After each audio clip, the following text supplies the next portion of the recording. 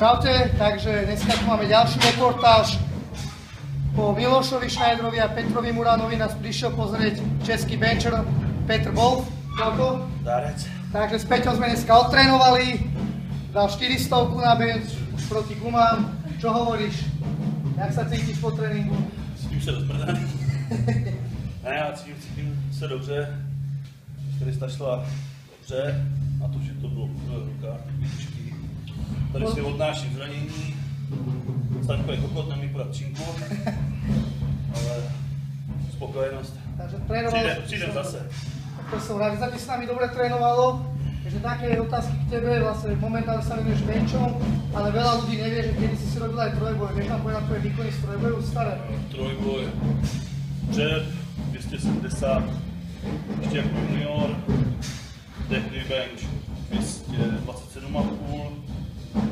Mrtvý tak taky 270. A to bolo ešte v rámci IPF federácie, hej? V rámci IPF o 110. A teraz, uh, ako bencher, v ktorých federáciách súťažíš? Už tam ideme na Open Federace.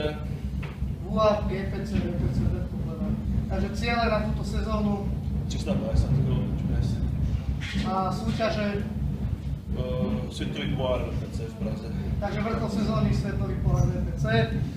Dobre, Peťo, ďalšia otázka. Povedz nám niečo o tvojom tréningu, jak často trénuje, zhruba objem tréningu, cvičíš nejaké základné tvoje, čo ti pomáha? bench? Trénink je jednoduchý, tři tréninky, z toho dva úplně lehké, doplňky, pumpovací cviky, všechno a jeden těžký trénink, kde jsou benče, ráv, těžké, benče, které jsou těžké, to je všechno. Spomenul si RAW, možná povedať nejaký je tvoj najvyšší RAW výkon?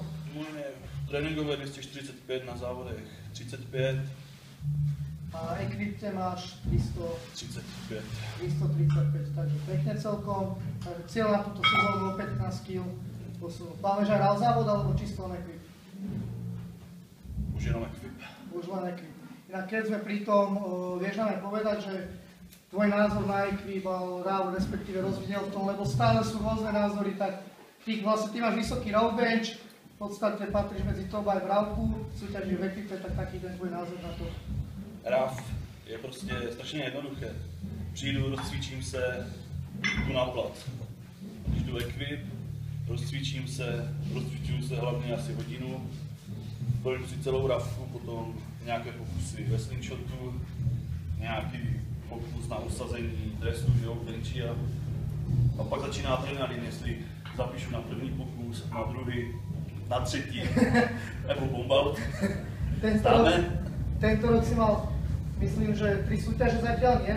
Ne, tento rok si měl nejvíc závodů. Měl jsem republiku GPC, VPC Slovenskou, republiku VPC Českou, Tvoju súťaž, čo si moji organizoval. soutěž VPC Československý pohár, potom jsem měl mistrovství Evropy ve UAP v Praze a potom příbramský pohár Fúha. a, Pobol si iba dvakrát, ne?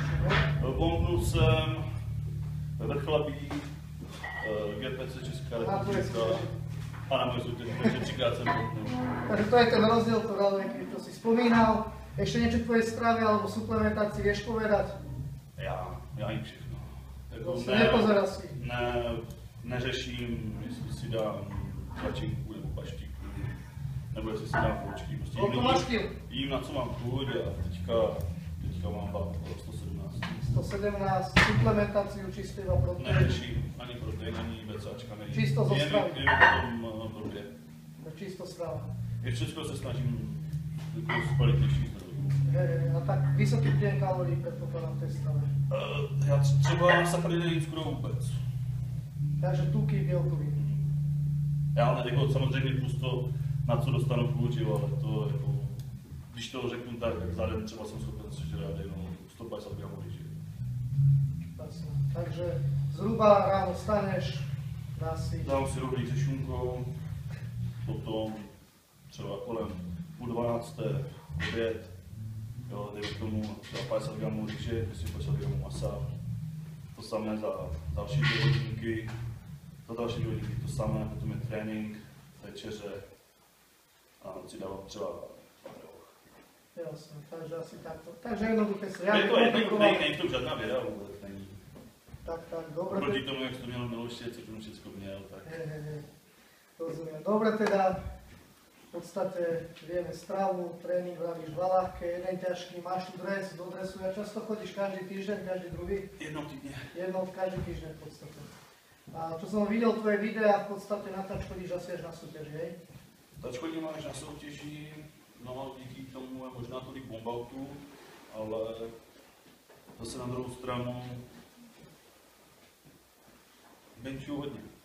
Tak v No, podstate takže- po Havardovi to je najvyšší výkon, hej? Yes. Takže celkom slušne teda. Ďakujem za rozhovor, dúfam, že sa ti páčilo nás na tréningu. Jdem zase. Tak to som veľmi rád teda. Tak maj sa. Čaute. Čau. Pri ďalšom videu.